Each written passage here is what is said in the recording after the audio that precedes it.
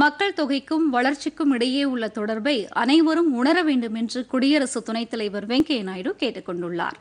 புதுதில்லியில் மக்கள் தொகை வளர்ச்சிக்கான நாடாளுமன்ற உறுப்பினர்கள் கூட்டமைப்பு தயாரித்துள்ள அறிக்கைகளை வெளியிட்டு பேசிய அவர் நாட்டில் மீண்டும் கூட்டு குடும்ப நடைமுறையை மக்கள் பின்பற்ற வேண்டும் என வலியுறுத்தினார்.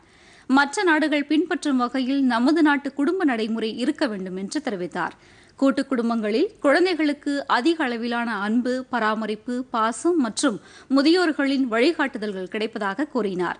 பாலின பாகுபாடின்றி சமூகம் திகழ வேண்டும் என்றும் இந்த நிகழ்ச்சியில் அவர் விருப்பம் தெரிவித்தார். நாட்டில் வயதானவர்களுக்கு உரிய மருத்துவ காப்பீடு செய்வதுடன் தேவையான பராமரிப்பு வழங்குவதற்கு அரசு நடவடிக்கை எடுக்க வேண்டும் என்று அவர் கேட்டுக் கொண்டாா் நாட்டில் இருபது சதவீதம் பேர் வறுமையிலும் படிப்பறிவு இன்றியும் இருப்பதை குறிப்பிட்ட அவர் இதற்கேற்றவாறு குடும்பத்தை கட்டுக்குள் வைத்துக் கொள்ள வேண்டும் என தெரிவித்தார்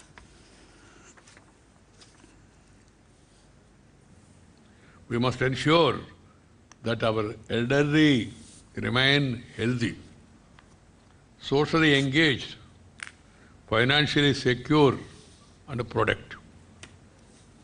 They should be engaged, they should be financially secure, and uh, they should be productive.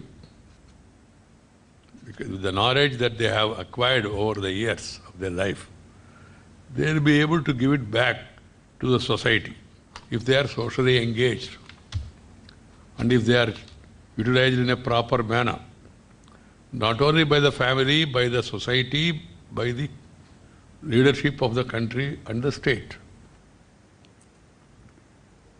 Pothigai செய்திகளை யூடியூபில் தமிழ் நியூஸ் தூர்தர்ஷன் என்ற சேனலிலும் முகநூலில் டிடி பொதிகை நியூஸ் என்ற பக்கத்திலும் ட்விட்டரில் டிடி நியூஸ் சென்னை என்ற பக்கத்திலும் இன்ஸ்டாகிராமில் டிடி பொதிகை நியூஸ் என்ற பக்கத்திலும் காணலாம். மேலும் உங்கள் கருத்துக்களை Podhigai DD news at Gmail dot com என்ற மின்னஞ்சலில் தெரிவிக்கலாம்.